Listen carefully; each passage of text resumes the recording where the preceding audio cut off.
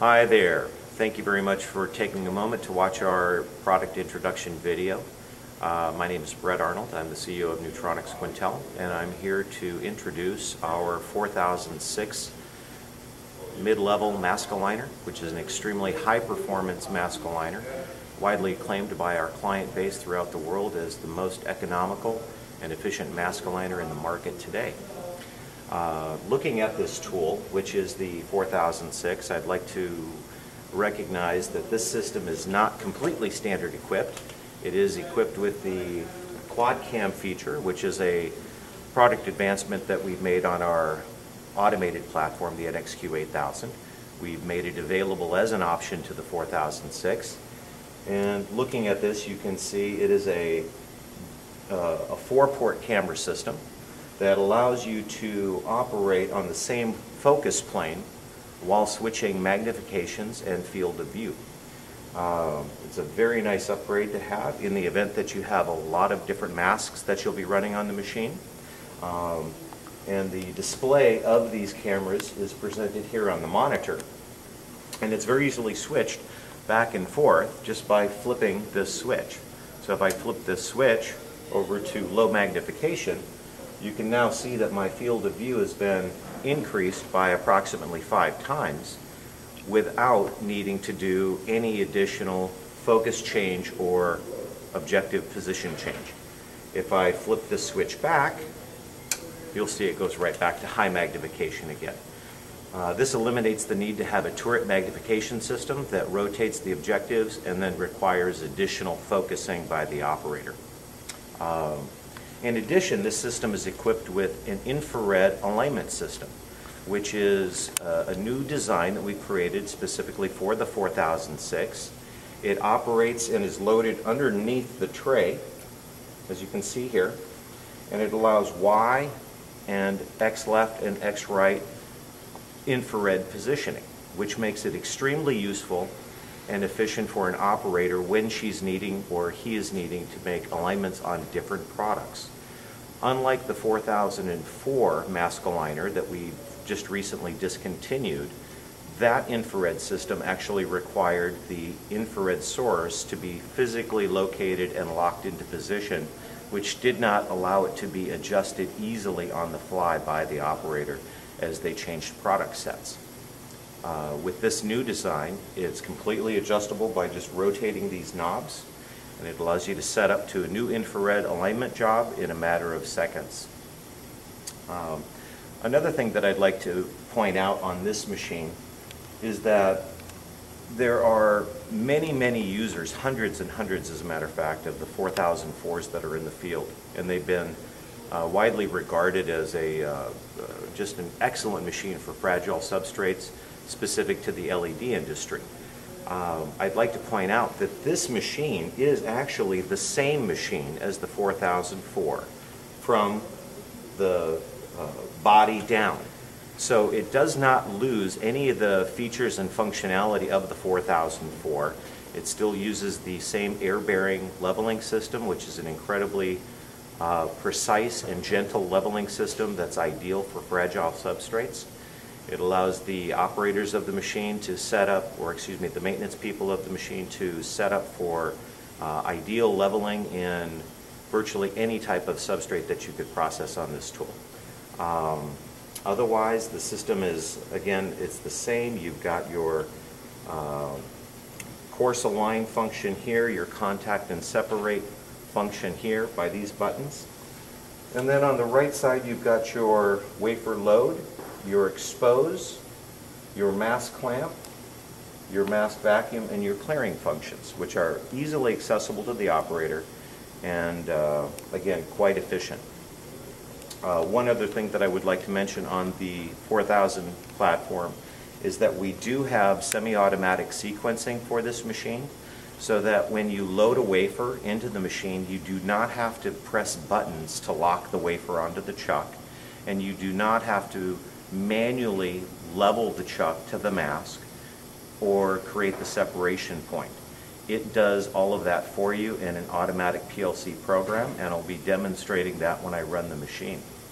So, um, Further notes on this is that the top side objectives are controlled through the Y adjustment knob here, as you can see on the screen. It's just very simple to adjust. And then you have your X positioning controlled through these knobs. So very simple. And again, here's the Y adjustment. So we've got plus or minus a half an inch of travel in the Y. And then we have full travel on X left and X right so that we can accommodate substrates as small as uh, uh, a centimeter square, all the way out to 6 inch on the 4006 model, as well as out to 8 inch on the 4008 model. And again, that's just controlled through here. Optionally, if you were working with small samples, something in the neighborhood of 20 millimeters or, or larger, we can equip the system with offset objectives which reduce the viewing span on the system so that you can actually perform a split field alignment on pieces, again, uh, uh, down to about 20 millimeters or even a, a tad bit smaller. With that said, you can also move one objective out of the way, moving the left or the right objective into the center of field of view so that you can actually do an extremely small sample using uh, one, one field alignment. Uh, with that said, I'd like to go ahead and just move forward with a demonstration so that you can see how the tool operates. And what I've got on this machine is actually a wafer on the chuck. It is inverted, so you might notice, I don't know if you can pick it up in the camera, but there is no pattern on the top side of this wafer. And I'll actually be showing a quick infrared alignment as we look through the wafer because the pattern is on the bottom side of this and we'll shine infrared through and we'll display not only the pattern on the wafer, but the pattern on the mask, demonstrating how an operator, operator would make an alignment front to back. Um, very first thing that they would do is they would take the wafer from the cassette, and as a matter of fact, see, you can see there's a pattern on that side, and there is no pattern on that side. And so we're demonstrating, in this case, an infrared through wafer alignment. So I'll take this wafer, pattern down, and I will load it onto the chuck.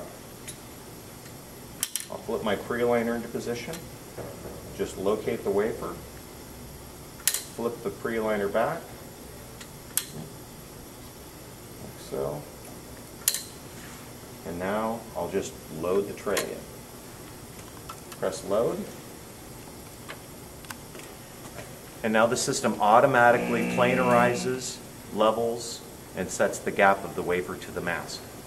Now if we look up on the screen, what you'll see is the automatic ignition of the infrared system.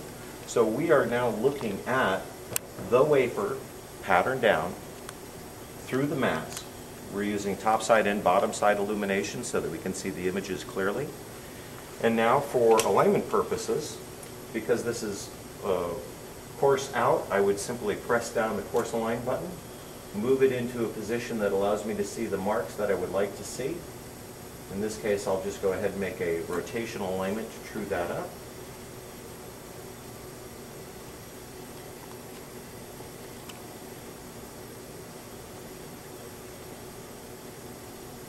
It appears as though I've not done a very good job of doing a pre-alignment.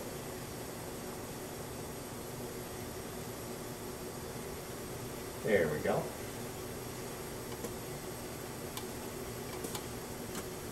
And I'll move this over and now you can see is the wafer has been rotationally aligned and I'm now able to make a simple XY precision translation through the joystick on the right side. This is an alternative to the micrometer alignment stages that are often offered on low-end machines. We prefer to equip the systems with this easy-to-use joystick it does allow you to make alignments with an accuracy of one micron or better with ease and precision, and it does not require an operator then to make mechanical repositions of the stage for centering it back to uh, an initial load position. So with an alignment made, once that's deemed acceptable, I would simply press my uh, contact separate button, and that would lock my alignment into position. And now I'll simply press expose. By pressing the expose button, what we'll see is the head will move out of the way. The shutter will automatically open. Again, this is a part of our automatic sequencing. The head goes back, and now the operator simply pulls the tray out and replaces the wafer.